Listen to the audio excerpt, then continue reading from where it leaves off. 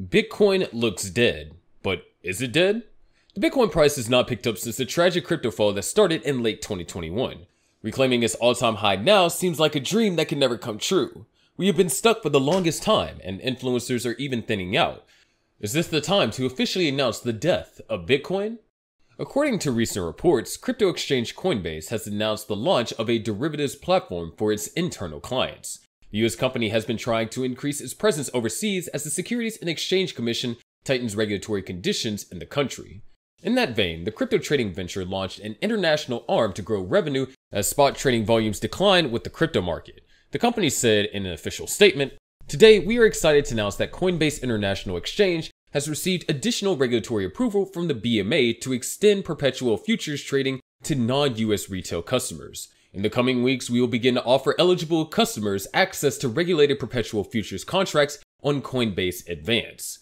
This announcement could onboard more traders to the crypto ecosystem to benefit Bitcoin and the entire market. Even XRP is not an exception as it has been among the most popular coins in the past few months following a critical legal victory in the US. While the legal scenario in the US is still uncertain for the nation's sector, an expert believes that XRP is one of the coins that will benefit due to its victory against the SEC. If the scenario plays out, tokens with legal support will thrive, and XRP and Bitcoin seem the two likely winners in this new era. Plus, the SEC chair Gary Gensler has reiterated that Bitcoin is not a security, and this applies to XRP too. However, the problem is not about XRP, but about Bitcoin. From all indications, there seems to be a detachment of Bitcoin influencers from the cryptocurrency. Of course, we're not talking about ardent Bitcoin believers such as Michael Saylor, Robert Kiyosaki, Max Keiser, and so on and so forth. But have you heard about what happened to BitBoy, one of Bitcoin's biggest proponents?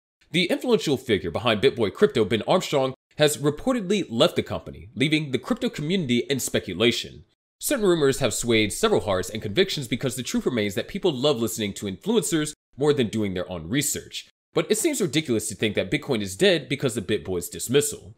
According to a screenshot shared by Bitcoin author Jason A. Williams on X, Armstrong's exit from Hit Network BJ Investment Holdings and all of its subsidiary brands, including BitBoy Crypto and around the blockchain, became effective immediately. Armstrong also confirmed the unexpected development on his personal X account, joined Ben Coin, stating, TJ Shedd and Justin Williams have attempted a coup at my company. There have been a mutiny at BitBoy Crypto and Hit Network, but it won't work. They have no leverage.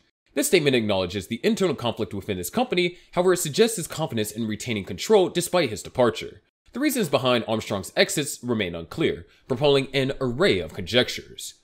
Crypto scam investigator ZachXBT questioned whether the sudden move is connected with Armstrong's recent engagement with several sketchy meme coins. Well, Armstrong has faced a slew of criticisms for advocating for risky investment trading to casual investors through affiliate links, along with the claims that he sold tokens after promoting them to viewers. Also, in this whirlwind of changes, the fate of Armstrong's digital currency, BEN, came under fire. Even though some followers speculated his downfall, Armstrong responded to a query in a post and dismissed such possibilities. However, on April 20th, reports indicated that Armstrong was due to show up in court over allegations of harassment towards attorney Adam Moskowitz, who was the legal representative for a group of investors who initiated legal action against several celebrities. These celebrities endorsed the now bankrupt crypto exchange FTX, including Armstrong. Now, according to the allegations in the lawsuit, they promoted FTX without disclosing compensation. In a separate lawsuit, Moskowitz alleged that Armstrong harassed him with endless phone calls, tweets, and emails to him privately, and publicly posting insulting and threatening posts on Twitter, YouTube, and other social media. Rumors of a potential investigation involving Armstrong further stirred the pot. An expert, Adam Cochran, even shared his anticipation for Armstrong's departure with sarcasm. This departure has sent ripples throughout the crypto community. The official BitBoy X account released a formal statement stating that the Armstrong was removed due to issues with substance abuse and emotional, physical, and financial damage he has done to the employees of the Hit Network and the BitBoy crypto community. During a live stream, Wendy O, a prominent crypto influencer and friend of Armstrong's, confirmed his departure to her subscribers. This is not FUD, this is real. I can confirm that this is real, she asserted. It turns out that the worst is not yet far from Armstrong. More recently, Ben Armstrong found himself in hot water after being arrested, following a live broadcast on YouTube. The situation unfolded when Armstrong planned to confront an individual named Carlos Diaz to recover what he claimed was his Lamborghini. The incident involved a chaotic frenzy of conspiracy theories, prompting the intervention of the police. The question is how Armstrong acquired the Lamborghini in the first place. In a video posted on YouTube on April 11th, the crypto influencer discussed his ownership of the car while discussing the potential of Cardano as a cryptocurrency. The video had a good number of viewers. He said Cardano has spent the entire bear market in 2018. You could have bought 88 at pennies a piece, $3. Guys, that's a 300. Freaking Cardano was our best performer of the major coins in the last bull run, but they said that from the beginning. I guess what you'll keep building on Cardano and the ecosystem just keeps growing, and the transactions are getting faster and faster. In the video, Armstrong also mentioned that Bitcoin's major cap holders and their control over a significant portion of the coin supply. But here's the thing.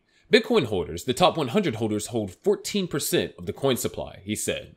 The situation was quite messy, but we can't ignore the roles that Ben Armstrong played in influencing certain cryptocurrencies. Notwithstanding, it's important to note that your investment decision should not solely depend on the juicy words of an influencer. Do your research and manage your expectations. The state of the crypto market is enough to trigger heartaches, so let's not make it worse any further. Moving forward, it has been a captivating six months in the battle between cryptocurrency companies and the US Securities and Exchange Commission. Since the initial coin offering craze in 2017, the SEC has earned the reputation of a hostile regulator in the cryptocurrency industry. The SEC has been criticized for regulating through enforcement action rather than incorporating with the industry to make a clear path.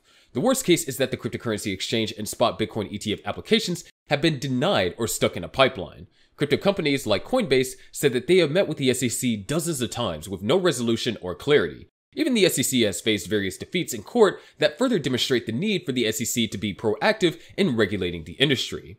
In late August, Grayscale had a victory against the SEC in its efforts to convert its over the counter Grayscale Bitcoin Trust into a listed spot Bitcoin ETF. The regulator had previously rejected Grayscale's application, noting that the products were not adequately designed to prevent fraudulent and manipulative acts and practices.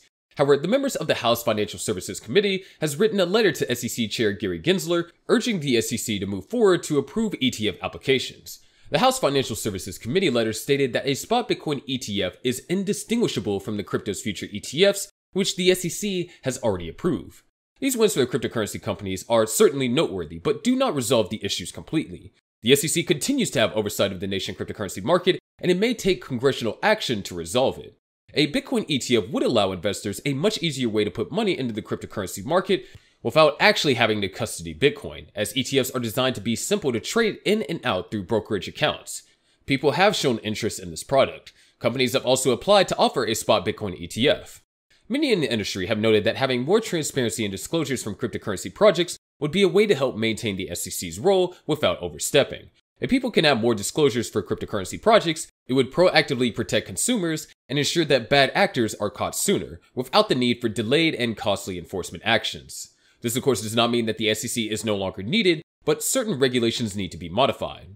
We are still anticipating the Bitcoin halving event in 2024, so Bitcoin's death verdict sounds a little bit like fiction. But that's going to do it for today's video. Make sure you click on the subscribe notification buttons, and we'll see you in the next video.